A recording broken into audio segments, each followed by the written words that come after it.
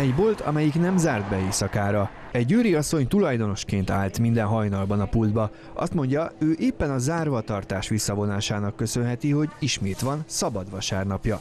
Mostantól néha újra alkalmazott dolgozik majd helyette éjjel. Egyébként valamennyi vasárnapot végig dolgoztam, reggeltől estig, valamennyi ünnepet hajnaltól estig.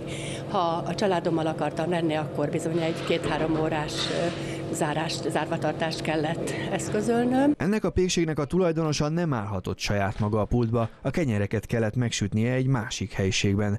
Pedig a hajnalban munkába igyekvők tömege járt volna reggeliért az üzletébe. A vevők még a zárvatartás bevezetése után is próbálkoztak, hiába. Nagyon sok autó megállt, hát keresetlen szavak lettek, azt hitték, hogy sztrájkolunk.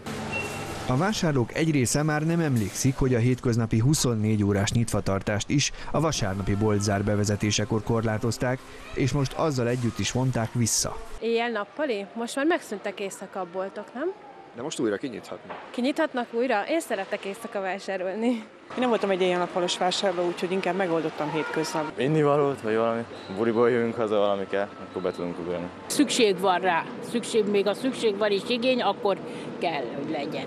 13 hónapja nagyjából 10 ezer addigi non-stopból zárt be éjszakára, a többségük most heteken belül visszaáll a 24 órás nyitvatartásra.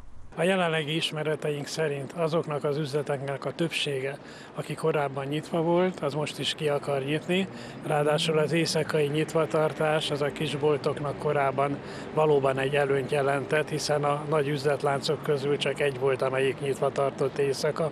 Ez az üzletlánc még nem döntötte el, hogy visszaállítják-e a 24 órás nyitvatartást, egyelőre vizsgálják, hogy ismét megérnie nekik.